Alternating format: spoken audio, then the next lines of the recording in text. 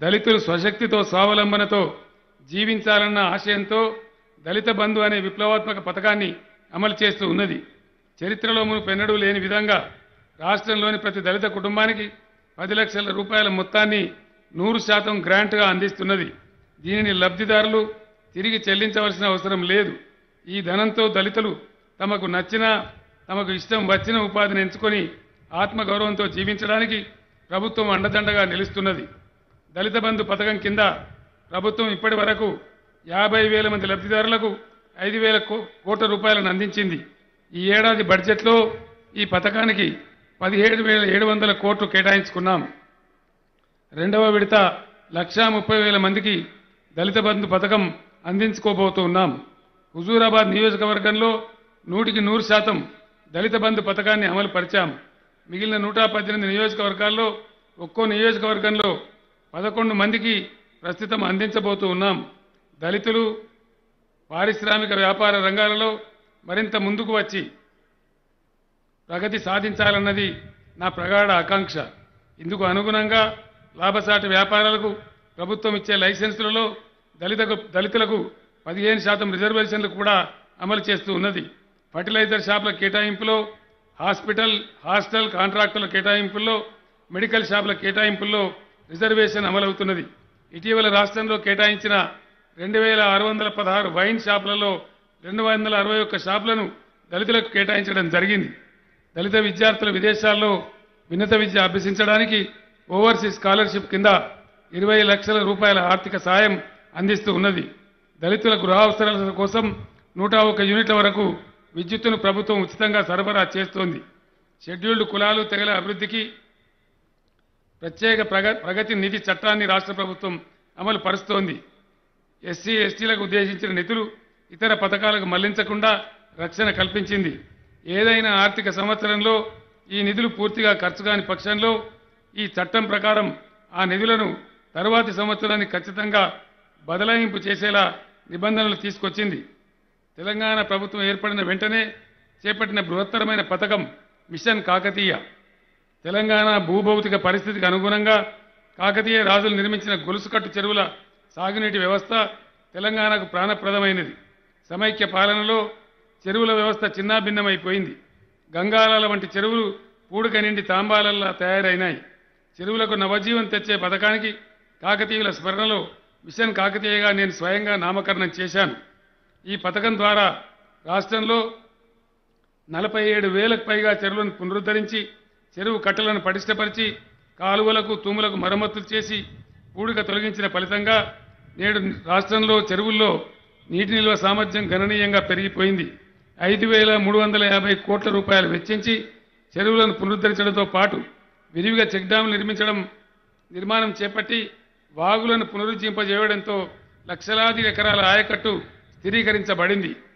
ఫలితంగా నేడు దేశవ్యాప్తంగా తొంభై నాలుగు లక్షల ఎకరాల వరి సాగు అయితే అందులో యాభై ఆరు వేల ఎకరాలు యాభై ఆరు లక్షల ఎకరాలు యాసంగిలో తెలంగాణలోనే సాగు అయిందని చెప్పడానికి నేను సంతోషిస్తూ ఉన్నాను. నేడు దేశంలో చాలా చోట్ల భూగర్భ జలాలు అడగంటిపోతున్నాయి. కానీ తెలంగాణ రాష్ట్రంలో మాత్రం ఉబికి ఉబికి పైకి వస్తున్నాయి. చెరువుల కింద ఆయకట్టుకు సాగునీరు సమృద్ధిగా లభిస్తుండటంతో ఆకుపచ్చ తివాచి పరిచినట్టు కనిపిస్తూ పంట పొలాలు కనువిందు చేస్తూ ఉన్నాయి. మిషన్ భగీరథ ద్వారా నూటికి నూరు శాతం గృహాలకు నల్లాల ద్వారా శుద్ధి చేసిన మంచినీటిని సరఫరా చేస్తున్న ఒకే ఒక్క రాష్ట్రం తెలంగాణ. రాష్ట్రంలో ఇంటింటికి నల్లాల ద్వారా శుద్ధి చేసిన నీరు ఇవ్వలేకపోతే బిందెడు నీళ్ళ కోసం మహిళలు పడే కడగండ్లను నివారించకుంటే నేను ప్రజలను ఓట్లు అడగను అని రాష్ట్రం వచ్చిన తొలినాళ్ళలో నేను ప్రతిజ్ఞ చేసిన విషయం మీకు తెలుసు. ఈ నేను నా ప్రతిజ్ఞను నిలబెట్టుకున్న విషయం కూడా మీ కళ్ళ ముందే ఉంది. ప్రతి ఇంటికి స్వచ్ఛమైన తాగునీరు అందించడంలో తెలంగాణ రాష్ట్రం దేశంలోకెల్లా ప్రథమ స్థానంలో ఉంది. దేశంలోని పెద్ద రాష్ట్రాలలో పశ్చిమ బెంగాల్ అట్టడుగు స్థానంలో ఉండగా ప్రధాని సొంత రాష్ట్రం గుజరాత్ మూడో స్థానంలో ఉంది. మనం ప్రారంభించిన మిషన్ భగీరథను అనుకరిస్తూ కేంద్ర ప్రభుత్వం హర్ ఘర్ జల్ యోజన అనే పథకాన్ని అమలు చేస్తోంది. కానీ అది ఇంకా నూటికి నూరు శాతం లక్ష్యాన్ని చేరుకోలేదు. కేంద్ర జలశక్తి శాఖలోని department of drinking water and sanitation mission Bhagiratha నీటిని పరీక్షలు నిర్వహించి రూపొందించిన వాటర్ క్వాలిటీ ఇన్ఫర్మేషన్ నివేదిక ప్రకారం ఒక్క తెలంగాణలోనే తొంభై తొమ్మిది పాయింట్ తొమ్మిది ఐదు శాతం నల్ల నీళ్ళలో కలుషిత కారకాలు లేవని నిర్ధారించింది.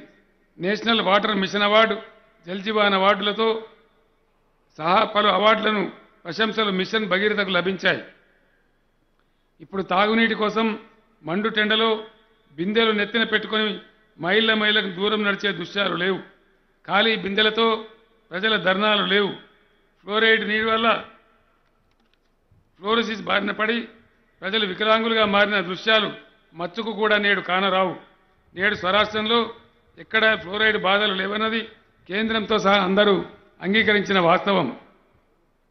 అరవై ఏండ్ల పాలనలో ఏ ఒక్క ప్రభుత్వము విద్యుత్ సమస్యను పరిష్కరించలేదు.